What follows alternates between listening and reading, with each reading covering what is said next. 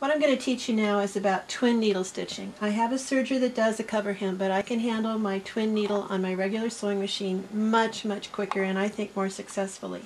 The game plan for this sweatshirt, and this is the nautical red, which is really a soft pink, is that I have done a crocheted neck with this cotton stripping, which is called rags, and then I ran out of that one but I have this one so I'll add some lark's head knots of these colors into this neckline and then I'll crochet some more strips to go down the front. So this led me into dark purples and I've got this great wonderful big dark purple button so that led me to decide to do my twin needle stitching in dark purple. So that's what we're going to accomplish. I've already narrowed in the underarm and decided on my hemline and I've got this all ready to hem. At this point what I've done was that I pressed it up, the hem that I wanted, and in doing that I clipped the seam allowance, pressing the garment seam allowance to the back, the hem seam allowance to the front, and I fused on fusible bias tape right where I'm going to be stitching on the hem allowance, not on the garment body side but on the hem allowance. Now to thread the machine what I love to use are the 4.0 slash 75 stretch twin needles from Schmetz. And I have my machine all threaded up with that, but let me give you some hints. If you look up here, you'll see if you pull the threads that I've got both of them riding horizontal, if that's possible on your machine. Either both horizontal or both vertical is preferable. And I've used the same spool catcher on each one. I have found that that's really important.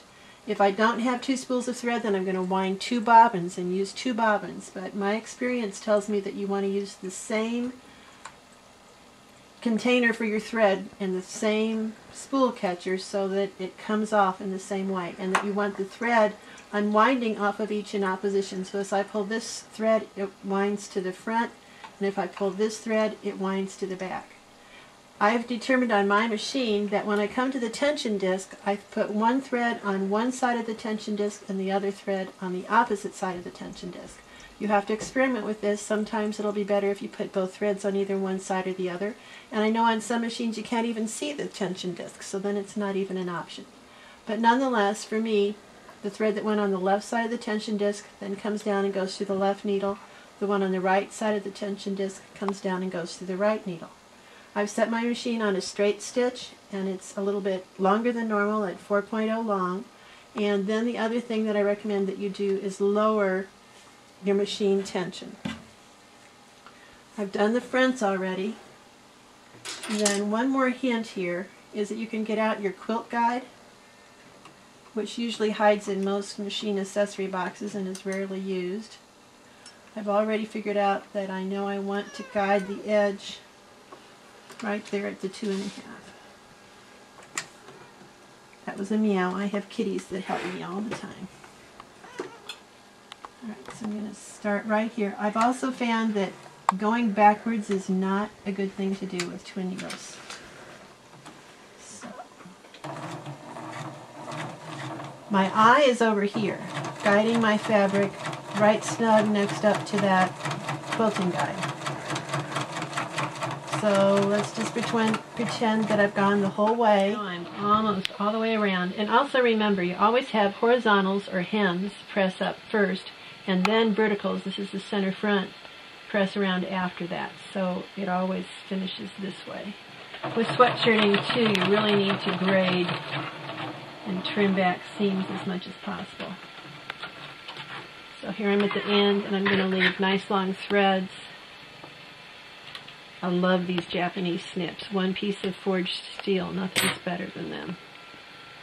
And then at the end, you're going to pull those threads to the back. And I don't like to knot. Instead, what I do is um,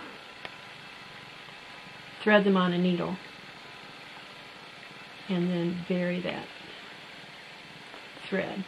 So I'll do that later. That's TV work to me. Then I take my applique scissors, these duckbill applique scissors, and what I'm going to do is trim close.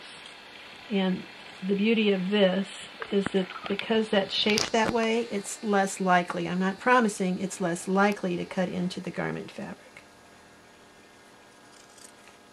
So you can see here as I do this, that part of that bias tape is being cut off now, but it's not going to show because it's on the hem allowance instead of the garment. I can trim that. I just didn't have my scissors. So that makes a nice finished stretchy commercial looking hem on your sweatshirts.